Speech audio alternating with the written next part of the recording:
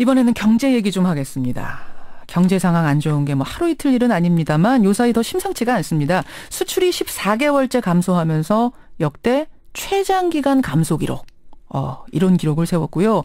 지금 세계 경제는 3월 위기설까지 돌고 있습니다. 여야는 서로 상대 탓을 하면서 이 경제 위기가 총선 이슈로 어, 떠오르고 있는 이 상황. 누구 탓인지를 떠나서 3월 위기설 진단 좀 해보죠. KDI 국제정책대학원의 유종일 교수 연결이 돼 있습니다. 아, 유 교수님 안녕하세요. 네, 안녕하세요. 아, 경제 침체, 경제 위기 이런 말을 하도 들어서요. 이제는 뭐 보도가 나와도 사실은 그냥 그러려니 하고 넘기는 분들이 많거든요. 네. 근데 지금 상황은 좀 더 특별합니까? 네, 뭐 장기적인 침체 국면이 지속이 되고 있는데요.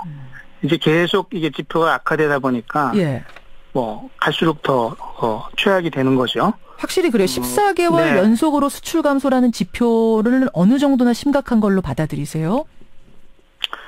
네, 우리나라가 뭐 다 잘 아시다시피 수출로 경제 성장을 많이 하는 나라인데 예. 뭐 수출이 이렇게 잘 안 되다 보니 지금은 이제 내수까지 그게 영향이 오고 있고 어 굉장히 심각한 상황이죠. 음, 어, 수출이 이렇게 그잘안 되는 뭐 제일 큰 이유는 예. 제일 큰 건 수출 단가가 하락해서 그래요. 수출 뭐 물량 자체가 뭐 그렇게 줄어드는 건 아닌데 예, 예. 음 이제 무- 수출 물량 증가가 굉장히 부진하고요. 음, 어 수출 단가가 지금 엄청나게 하락하고 있거든요. 예. 제일 큰 문제는 유가 하락이고요. 그래요. 예, 이건 이제 전 세계적인 문제이기 때문에 우리가 어찌 할 수 없는 거고 어허. 특히 그 우리나라는 뭐 수출이 한 4분의 1 정도가 중국 시장으로 가지 않습니까? 그렇죠. 네, 너무나 잘 알다시피 중국 경제가 둔화하면서 음, 중국이 수입액이 엄청나게 줄어들고 있거든요. 중국이. 예. 그러니 뭐 어쩔 도리가 없는 거죠. 음, 그런 상황에서 글로벌 3월 위기설이라는 게 모락모락 피어납니다. 이게 이런 얘기가 나오는 배경은 뭔가요? 3월 위기설이라는 게 뭐 이게 증권가에서 항상 위기설들이 나오는데요. 예, 예. 뭐 그 그런 그 저유가 때문에 지금 많은 문제가 있고 예. 또 어, 지난 12월 달에 미국이 금리 인상에 나서면서 금융시장에 충격을 줬고 또 중국 경기 둔화 예.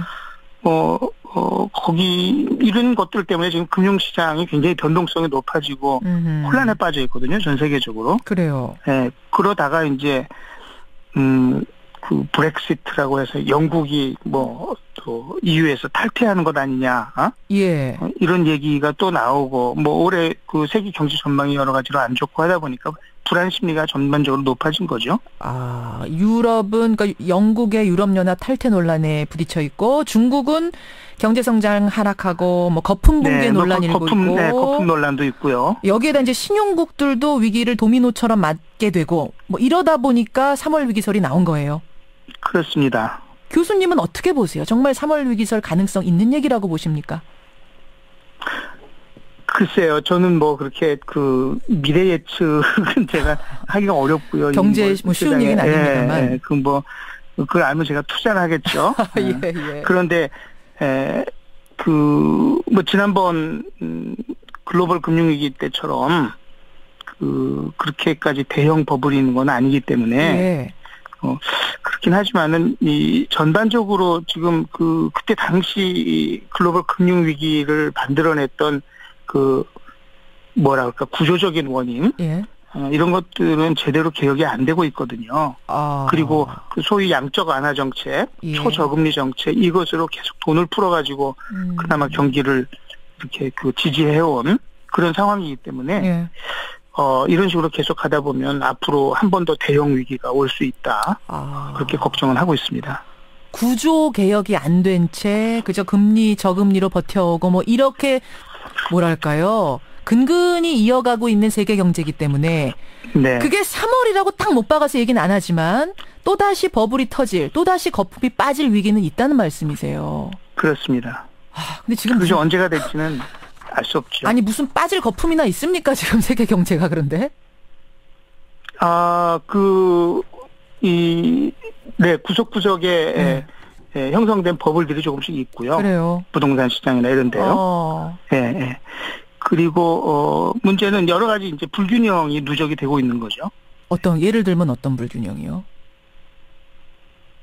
어, 그,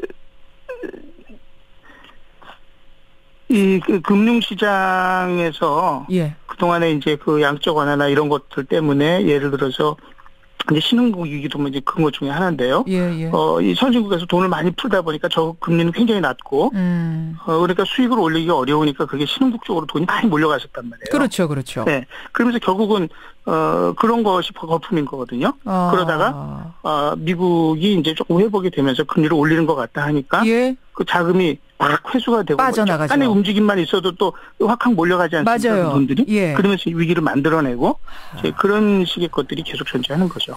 그래요. 예, 이런 상황. 이쯤에서 이제 우리가 궁금해지는 거는 우리 상황입니다. 우리.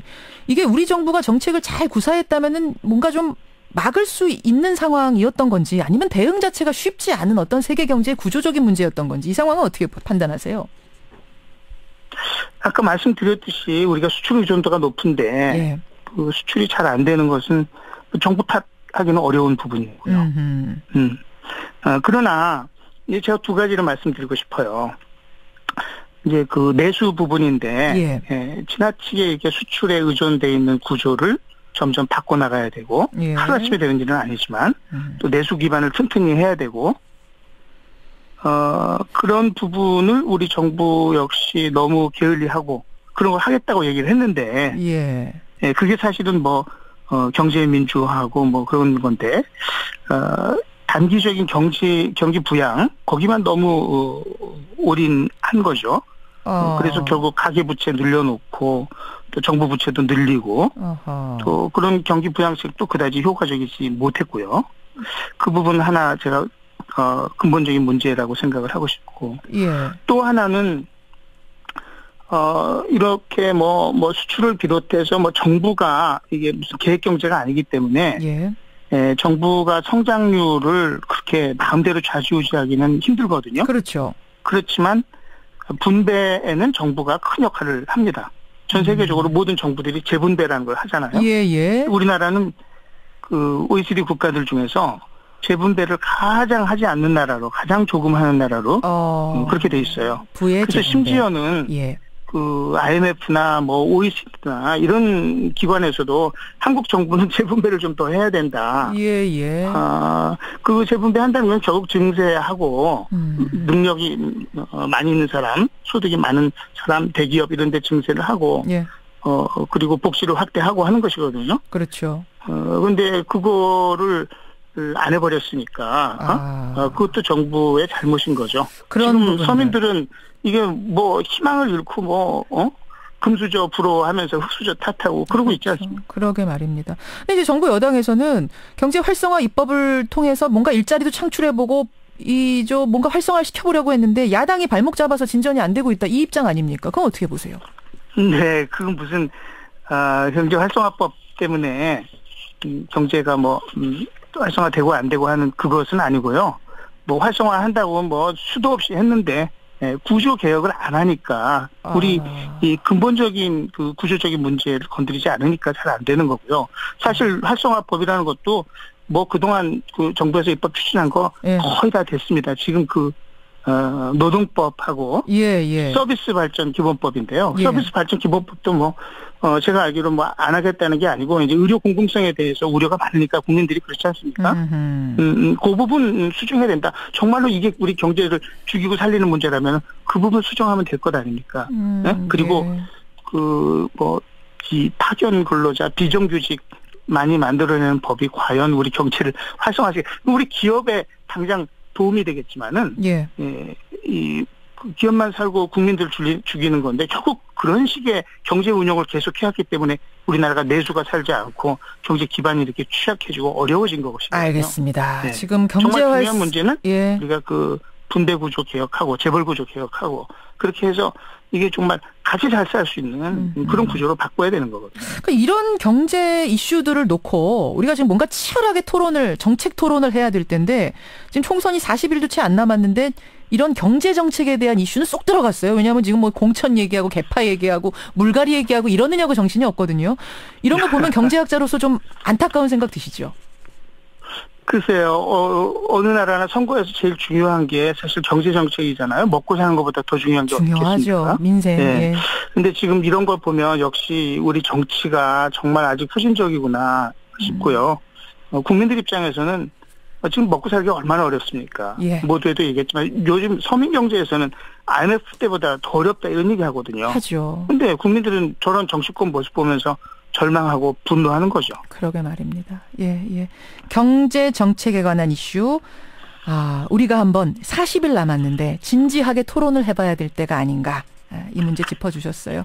유정일 교수님 여기까지 말씀 듣겠습니다. 고맙습니다. 네, 고맙습니다. KDI 국제정책대학원 유종일 교수였습니다.